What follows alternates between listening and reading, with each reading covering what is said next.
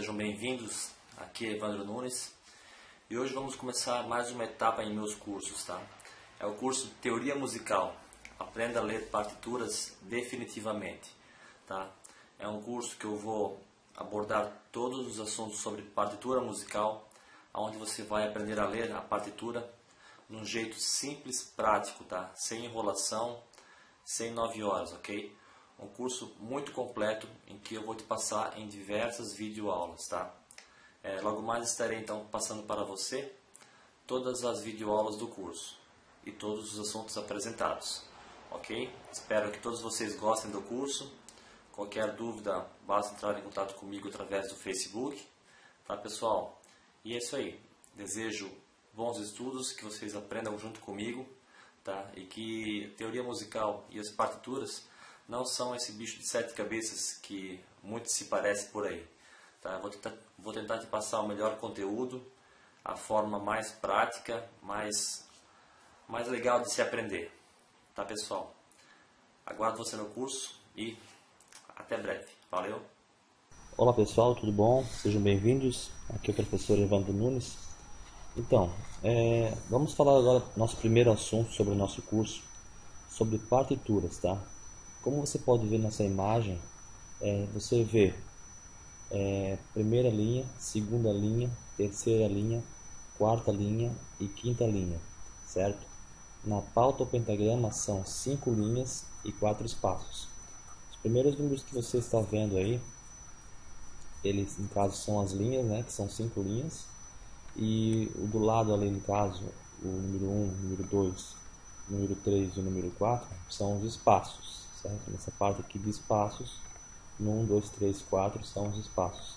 Então, a pauta, a pauta ou pentagrama tem cinco linhas e quatro espaços, tá? É ali que você vai escrever as notas, ok? É, espero que você tenha entendido e vamos partir para o próximo vídeo. Bom, então continuando, um outro exemplo, como você pode ver ali nas linhas, né? Tudo separado. Primeira linha, segunda linha, terceira linha, quarta linha e quinta linha, certo? E no meio de cada linha tem os seus espaços. Primeiro espaço, segundo espaço, terceiro espaço e quarto espaço. Deu para entender? Então vamos, vamos lá, vamos embora. Vamos para outro exemplo. Valeu? Bom, então pessoal, como vocês podem ver agora, esse exemplo é um exemplo mais complexo, ok? Bom, esse exemplo, ah, na pauta pentagrama, já estão colocadas as notas musicais, tá?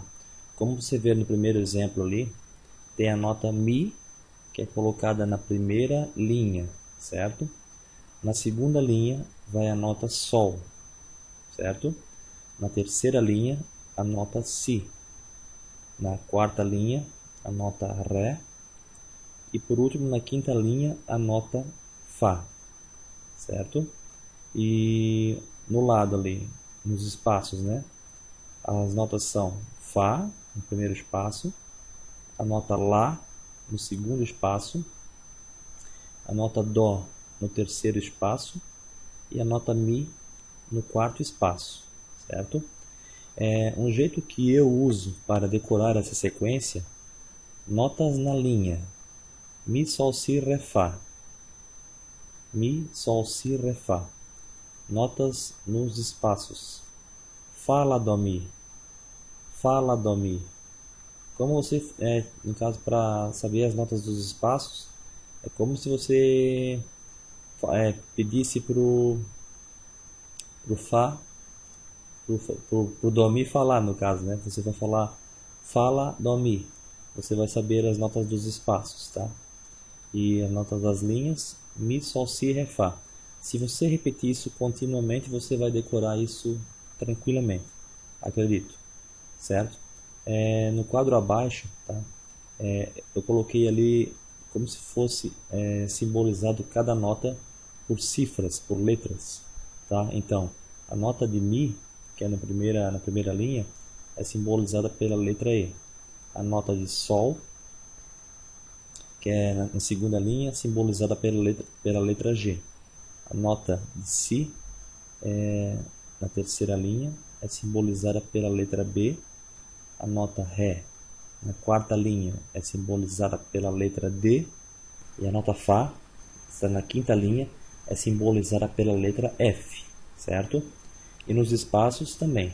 É, você pode ver ali na, no primeiro espaço a nota Fá, no primeiro espaço, simbolizada pela letra F, a nota Lá, no segundo espaço, simbolizada pela letra A, a nota de Dó, no terceiro espaço, simbolizado pela letra C, e por fim, a nota de Mi, que fica no quarto espaço, simbolizado pela letra E. Certo? Então, essa então foi a nossa aula, onde a gente entendeu um pouco sobre as linhas da partitura tá? e algumas notas colocadas nas linhas e notas colocadas nos espaços. Lembrando tá, que você já deve ter ouvido falar é, sobre pauta ou pentagrama. Tá? A palavra pentagrama vem do grego, tá? Penta quer dizer cinco. Então por isso que são cinco linhas, certo? Então essa é a dica, tá? Espero que você tenha gostado, vocês tenham gostado da aula. É, quero fazer as aulas de uma forma bem, bem tranquila, bem devagar, bem prática, bem fácil de entender, para que todos é, compreendam. Agradeço e tudo de bom para vocês. Até a próxima aula. Valeu!